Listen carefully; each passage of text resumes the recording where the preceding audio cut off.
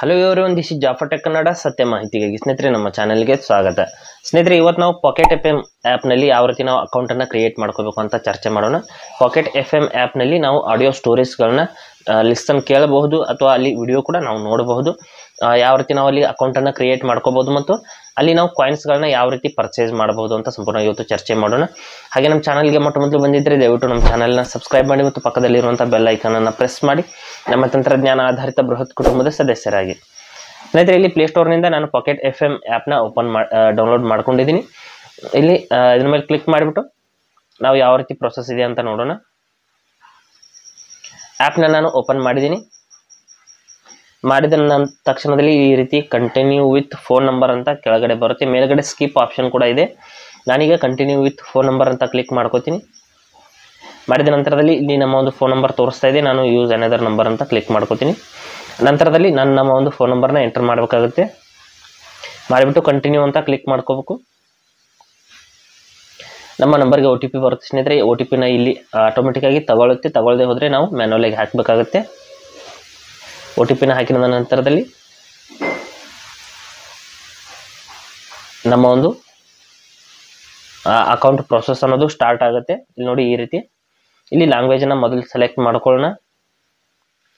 ಲ್ಯಾಂಗ್ವೇಜ್ನ ಇಲ್ಲಿ ನೋಡಿ ಕನ್ನಡವನ್ನು ಸೆಲೆಕ್ಟ್ ಮಾಡ್ತೀನಿ. ಸೆಲೆಕ್ಟ್ ಮಾಡಿದ ನಂತರದಲ್ಲಿ ಇಲ್ಲಿ ಬಾಕ್ಸ್ ಮೇಲೆ ಕ್ಲಿಕ್ ಮಾಡಿಕೊಂಡು ಕಂಟಿನ್ಯೂ ಅಂತ ಕ್ಲಿಕ್ ಮಾಡ್ಕೋಬೇಕು.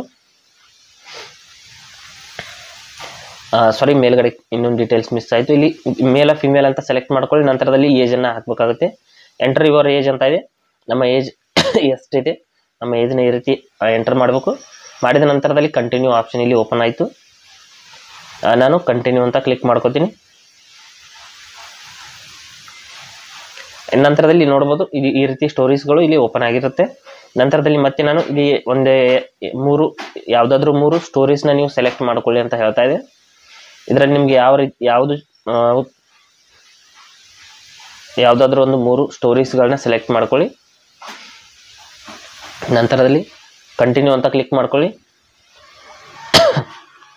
ಕ್ಲಿಕ್ ಮಾಡಿದ ನಂತರದಲ್ಲಿ ಇಲ್ಲಿ ನಮ್ಮ ಒಂದು, ಈ ರೀತಿ ಸಕ್ಸಸ್ಫುಲಿ ಲಾಗ್ಡ್ ಇನ್ ಅಂತ ಬರುತ್ತೆ. ಆಲ್ ರೈಟ್ ಅಂತ ಕೆಳಗಡೆ ಒಂದು ಆಪ್ಷನ್ ಇದೆ, ಅದ್ರ ಮೇಲೆ ಕ್ಲಿಕ್ ಮಾಡ್ಕೊಳ್ಳೋಣ. ಮಾಡಿದ ನಂತರದಲ್ಲಿ ಇಲ್ಲಿ ಒಂದು ಸ್ಟೋರಿ ಅನ್ನೋದು ಪ್ಲೇ ಆಗುತ್ತೆ ಸ್ನೇಹಿತರೆ, ಇಲ್ಲಿ ನೋಡ್ಬೋದು, ಇಲ್ಲಿ ವಿಡಿಯೋ ಕೂಡ ಪ್ಲೇ ಆಗ್ತಾ ಇದೆ. ಕೆಲವು ಕೆಲವು ಸ್ಟೋರಿಗಳು ವಿಡಿಯೋ ಕೂಡ ಇರುತ್ತೆ, ಕೆಲವು ಸ್ಟೋರಿಗಳು ಆಡಿಯೋ ಮಾತ್ರ ಇರುತ್ತೆ. ನಂತರದಲ್ಲಿ ಈ ರೀತಿ ಪೋಸ್ ಮಾಡಿಬಿಟ್ಟು ನಾನು ಇಲ್ಲಿ ಅಕೌಂಟನ್ನು ಸೆಟ್ಟಿಂಗ್ಸ್ನ ಕೆಲವೊಂದಿಷ್ಟು ಸೆಟ್ಟಿಂಗ್ಸ್ನ ಹೇಳ್ತೀನಿ ಅಕೌಂಟಲ್ಲಿ ಮತ್ತು ಕಾಯಿನ್ಸ್ಗಳು ಎಲ್ಲಿರುತ್ತೆ ಯಾವ ರೀತಿ ಪರ್ಚೇಸ್ ಮಾಡಬೇಕು ಅಂತ ಹೇಳ್ತೀನಿ. ಇಲ್ಲಿ ನೋಡಿ ಈ ರೀತಿ ಕ್ಲೋಸ್ ಮಾಡ್ಕೋತೀನಿ. ಮಾಡಿದ ನಂತರದಲ್ಲಿ ಇಲ್ಲಿ ಕೆಳಗಡೆ ಮೈ ಸ್ಪೇಸ್ ಅಂತ ಒಂದು ಆಪ್ಷನ್ ಇದೆ. ಮೈ ಸ್ಪೇಸ್ ಮೇಲೆ ನಾವು ಕ್ಲಿಕ್ ಮಾಡ್ಕೊಳ್ಳೋಣ. ಕ್ಲಿಕ್ ಮಾಡಿದ ನಂತರದಲ್ಲಿ ಇಲ್ಲಿ ಸೆಟ್ಟಿಂಗ್ಸ್ ಆಪ್ಷನ್ ಬರುತ್ತೆ ಇಲ್ಲಿ ಎಲ್ಲ ಆಪ್ಷನ್ಸ್ಗಳು ನೋಡೋದಕ್ಕೆ ಸಿಗುತ್ತೆ. ಈಗ ಕ್ಲೋಸ್ ಮಾಡ್ತೀನಿ. ನಂತರದಲ್ಲಿ ಇಲ್ಲಿ ನೋಡ್ಬೋದು. ಇಲ್ಲಿ ಮೈ ಡೌನ್ಲೋಡ್ಸ್ ಅಂತ ಇದೆ. ಇಲ್ಲಿ ಸಪೋರ್ಟ್ ಆಪ್ಷನ್ ಕಸ್ಟಮರ್ ಸರ್ವಿಸ್ ಕೂಡ ಇಲ್ಲಿ ನೋಡೋದಕ್ಕೆ ಸಿಗುತ್ತೆ. ಆ, ನಂತರದಲ್ಲಿ ಇಲ್ಲಿ ಮೈ ಸ್ಟೋರ್ ಅಂತ ಇದೆ. ಇದ್ರ ಮೇಲೆ ಕ್ಲಿಕ್ ಮಾಡಿಬಿಟ್ಟು ನಾವು ಕಾಯಿನ್ಸ್ಗಳನ್ನ ಪರ್ಚೇಸ್ ಮಾಡ್ಬೋದು ಇಲ್ಲಿ ನೋಡ್ಬೋದು ಎಂಬತ್ತು ಕಾಯಿನ್ಸ್ಗೆ ಮೂವತ್ತೊಂಬತ್ತು ರೂಪಾಯಿನ ನಾವು ಕೊಡಬೇಕಾಗಿದೆ. ಇದ್ರ ಮೇಲೆ ಕ್ಲಿಕ್ ಮಾಡಿಬಿಟ್ಟು ನಾವು ಕಾಯಿನ್ಸ್ಗಳನ್ನ ಪರ್ಚೇಸ್ ಮಾಡಬೇಕು ಅಂದರೆ ಇಲ್ಲಿ ಯಾವುದಾದ್ರೂ ಒಂದು ಈ ರೀತಿ ಮೇಲ್ಗಡೆ ಪೇಮೆಂಟ್ ಗೇಟ್ವೇ ಇದೆ, ಅದ್ರ ಮೇಲೆ ಕ್ಲಿಕ್ ಮಾಡ್ಕೋಬೇಕು. ಕ್ಲಿಕ್ ಮಾಡಿದ ನಂತರದಲ್ಲಿ ನಾವಿಲ್ಲಿ ಫೋನ್ಪೇ ಗೂಗಲ್ ಪೇ ಅಥವಾ ಯಾವುದೇ ಒಂದು ಆ್ಯಪ್ ಮೂಲಕ ಒಂದು ಪೇಮೆಂಟನ್ನು ಮಾಡಬಹುದು. ಈ ರೀತಿ ನಮ್ಮ ಫೋನ್ಪೇ ಅನ್ನೋದು ನೇರವಾಗಿ ಓಪನ್ ಆಗುತ್ತೆ. ಫೋನ್ಪೇ ಅಥವಾ ಗೂಗಲ್ ಪೇ ನಿಮ್ಮ, ನೀವು ಯಾವ ಯು ಪಿ ಐ ಆ್ಯಪ್ನ ಯೂಸ್ ಮಾಡ್ತಾ ಇದ್ರೆ ಅದು ಓಪನ್ ಆಗುತ್ತೆ. ಓಪನ್ ಆದ ನಂತರದಲ್ಲಿ ಪೇ ಅಂತ ಕ್ಲಿಕ್ ಮಾಡಿಬಿಟ್ಟು ನೀವು ಪೇಮೆಂಟನ್ನು ಇಲ್ಲಿ ಮಾಡಬಹುದು.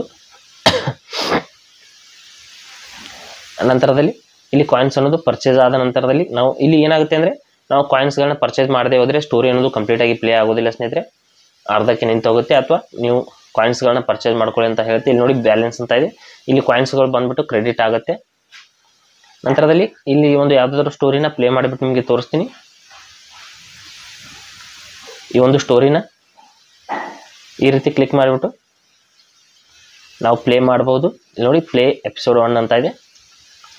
ಅದರ ಮೇಲೆ ನಾವು ಕ್ಲಿಕ್ ಮಾಡಿದರೆ ಆ ಸ್ಟೋರಿ ಅನ್ನೋದು ಈ ರೀತಿ ನೋಡ್ಬೋದು ವಿಡಿಯೋ ಕೂಡ ಪ್ಲೇ ಆಗುತ್ತೆ. ಕೆಲವೊಂದಿಷ್ಟು ಸ್ಟೋರೀಸ್ಗಳು ಆಡಿಯೋ ಮಾತ್ರ ಪ್ಲೇ ಆಗುತ್ತೆ. ಈ ರೀತಿ ನಾವು ಪಾಕೆಟ್ ಎಫ್ ಎಂ ಆ್ಯಪ್ನಲ್ಲಿ ಅಕೌಂಟನ್ನು ಕ್ರಿಯೇಟ್ ಮಾಡ್ಕೊಂಡ್ಬಿಟ್ಟು ಸ್ಟೋರಿನ ಲಿಸನ್ ಮಾಡ್ಕೋಬಹುದು. ಹಾಗೆ ಸ್ನೇಹಿತರು ಕೊಟ್ಟಿರೋ ಮಾಹಿತಿ ಸಂಪೂರ್ಣ ಮತ್ತು ನಿರೂಪಣೆ ಮಾಡಿದೆ. ಶೈಲಿ ಉತ್ತಮ ಅಂತ ಅನಿಸಿದರೆ ವಿಡಿಯೋನ ಲೈಕ್ ಮಾಡಿ ಮತ್ತು ನಿಮ್ಮ ಸ್ನೇಹಿತರಿಗೂ ಕೂಡ ಶೇರ್ ಮಾಡಿ. ಹಾಗೆ ಇದ್ರ ಬಗ್ಗೆ ಸಮಸ್ಯೆಗಳು ಡೌಟ್ಗಳಿದ್ರೆ ಕಮೆಂಟಲ್ಲಿ ಅವಶ್ಯವಾಗಿ ತಿಳಿಸಿ. ಮುಂದಿನ ವಿಡಿಯೋದಲ್ಲಿ ಮತ್ತೊಂದು ಹೊಸ ವಿಷಯದೊಂದಿಗೆ ಇದೇ ರೀತಿ ನಿಮ್ಮ ಮುಂದೆ ಬರ್ತೀವಿ. ಅಲ್ಲಿವರೆಗೂ ಟೇಕ್ ಕೇರ್